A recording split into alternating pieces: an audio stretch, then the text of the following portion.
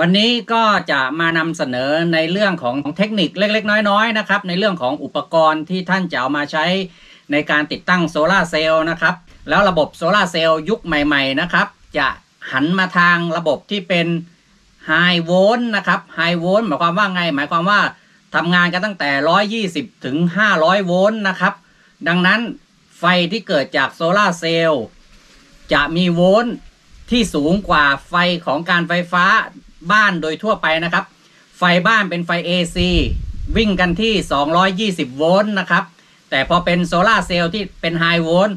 บางครั้งนะครับ โวลต์มาถึง 400 ถึง 500 โวลต์กันเลยทีเดียวนะครับ ทีเนี้ยการเอาอุปกรณ์มาใช้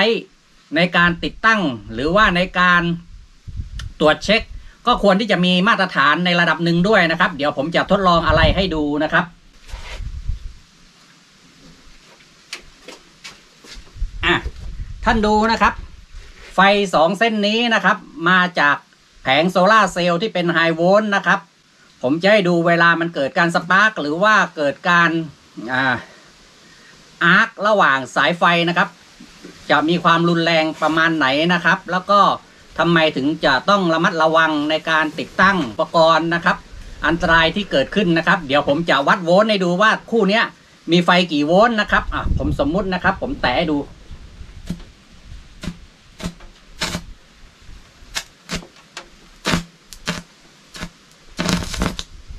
เห็นอะไรไหมฮะ อันนี้คือไฟ DC ที่มาจากแผงโซลาเซลล์ที่เป็น high volt นะครับ ความรุนแรงของเขาเขาอาร์ครุนแรงมากนะครับ โวลต์เข้ามาสูงนะครับ เรามาดูกันว่า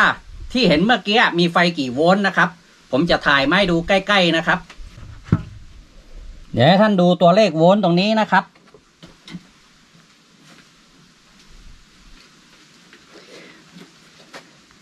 การทดลองนี้ ควรจะ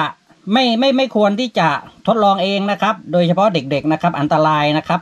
ไฟ high volt มันสปาร์กกันได้นะฮะ แต่ผมจะวัดโวลต์ให้ดูว่าเขามากี่โวลต์นะฮะ เห็นไหมฮะ บนหน้าจอหน้าปัดตอนนี้แสดงโวลต์อยู่ที่ 359 โวลต์นะครับ ซึ่งสูงกว่าไฟ AC นะฮะ อันนี้คือไม่มีโหลดนะครับ 359 โวลต์ อ่าท่านคงเห็นแล้วนะครับ เมื่อกี้ไฟแลบออกมาให้เห็นเห็น แต่ถามว่าทำไมผมถึง สาธิตให้ดู อันนี้เป็นข้อควรระวังนะครับ ก็คือ เรามาเตือนกันในเรื่องของการใช้เครื่องไม้เครื่องมือนะครับ ซึ่งเมื่อก่อนเนี่ย ผมก็ไม่ได้สนใจนะครับว่าจะใช้อะไรยังไงนะครับอ้าวผมให้ดูก่อน อันนี้ก็บางทีก็เป็นไขควงที่เราใช้กันโดย เอาง่ายเข้าว่านะครับ อันนี้เป็นไขควง ซ่อมรถยนต์นะฮะเห็นนะฮะด้านหลังนี่มันตอกได้มันเป็นเหล็กนะฮะท่านพลาดไปไปใช้ไขควงผิดประเภท มันก็ไฟรั่วไฟดูดได้นะครับ อุปกรณ์ที่มีมาตรฐานนะครับ ผมให้ดูนะฮะไขควงอย่างนี้เป็นต้นนะครับ ถามว่ามาตรฐานเราดูกันตรงไหนนะครับ เราดูกันที่ สัญลักษณ์ตัวนี้นะครับ VDE นะฮะเป็นตัวหนังสือเล็ก ๆ เห็นไหมฮะ VDE เป็นรูปสามเหลี่ยม อันนี้ถ้าผลิตภัณฑ์ตัวไหนที่มีสัญลักษณ์ตัวนี้นะครับ VDE ก็หมายความว่าได้รับมาตรฐาน รับรองความปลอดภัยจากสถาบัน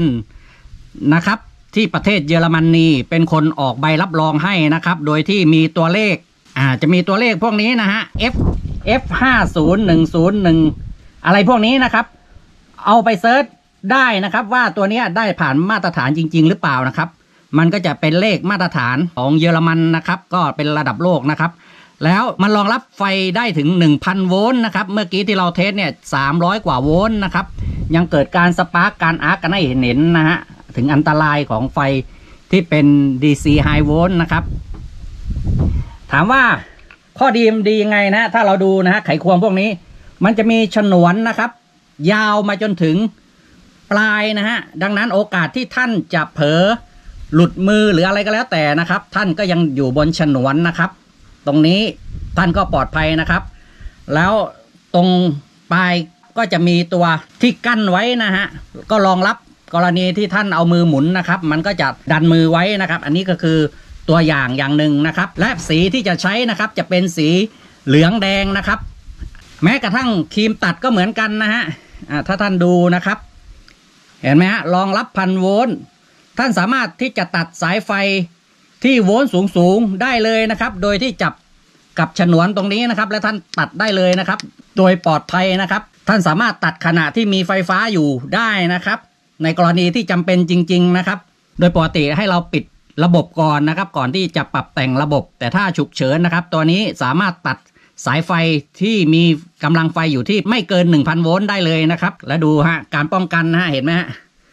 เวลาตัด ท่านไม่ต้องกลัวนะเพราะว่าเขามีตัวบล็อกนิ้วนะฮะบล็อกตัวมือนะครับไม่ให้หลุดนะครับ อันนี้ก็หนึ่งในอุปกรณ์นะครับที่ได้รับมาตรฐาน แม้กระทั่งไขควงนี่นะฮะ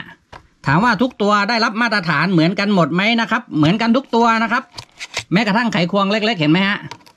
ปลายของเขาก็จะหุ้มฉนวนมาตลอดแนวนะครับ ไขควงพวกนี้จะไว้ปรับวงจรอิเล็กทรอนิกส์นะครับที่เป็น high volt นะครับ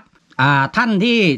ระบบโซลาเซลล์หรือว่าอินเวอร์เตอร์มีปัญหาภายในวงจรภายในอะไร พวกนี้นะครับ ต้องการปรับแต่งพวก VR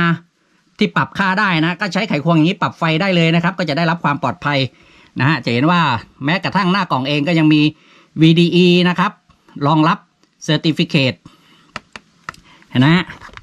Germany design นะฮะก็คือรองรับโดยสถาบันของเยอรมนีนะครับในการที่ออกใบรับรองมาให้กับอุปกรณ์ อันนี้เป็นชุด 7 ชิ้นนะครับ ก็สำหรับสายช่างนะที่ซ่อมแซมนะครับ ก็ใช้อย่างนี้ก็จะปลอดภัยนะครับ และอุปกรณ์ของท่านในการที่จะซ่อมบำรุงอุปกรณ์นะครับ หรือว่าซ่อมตัวอินเวอร์เตอร์นะครับ ในระบบ high volt ก็จะง่ายนะครับ ปลอดภัยนะครับ สัญลักษณ์เหลืองแดงนะครับ ที่เป็นไขควงในท้องตลาดนะครับ ก็จะมีอยู่หลายแบบเหมือนกันนะครับ ที่ใช้ใช้ลักษณะเป็นเหลืองแดงแต่ว่าไม่ได้มี VDE อยู่นะครับ ท่านต้องสังเกตตรงนี้นะครับ คือบางทีเขาทำแค่สีออกมาเฉยๆนะฮะ แต่ว่า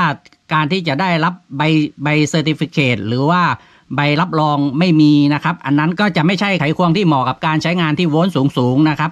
เพราะว่าถ้าโรงงานที่มีมาตรฐานเขาก็จะไปขอใบรับรองนะฮะ เพื่อให้ผลิตภัณฑ์ของเขาได้รับใบเซอร์นะครับ เรามาดูไขควงทั่วไปนะครับ ก็จะเป็นพลาสติกอย่างนี้นะครับพลาสติกใส ถึงแม้บางอันจะไม่มีตัวเหล็กข้างหลังก็เหมือนกันนะฮะบางทีไอ้พวกพวกอย่างนี้มันก็เหมาะกับงานบางอย่างนะครับ ไม่ได้เหมาะกับงานของไฟฟ้า ต้องต้องแยกกันด้วยนะครับ เวลาซื้ออุปกรณ์ซื้อไขควง ไม่ใช่ว่าไขควงทุกตัวจะใช้แทนกันได้นะครับ การออกแบบมาคนละอย่างกันนะฮะตัวนี้ก็ made in Japan นะฮะแต่เป็นไขควงสำหรับช่างยนต์นะฮะสมมติมีการซ่อมบำรุงนะครับ โดยที่ท่านไม่ตัดไฟนะฮะถ้าท่านมาแย่ตรงตรงนี้นะครับ ที่เป็นของชิโนทามเมอร์เห็นไหมฮะไฟออก 10โล200 กว่าโวลต์นะฮะ ถ้าท่านใช้ไขควงที่ออกแบบมาสำหรับป้องกันไฟฟ้ารั่วได้นะครับ ที่มีฉนวนท่านจะจับตรงไหนก็ได้นะเห็นไหมฮะ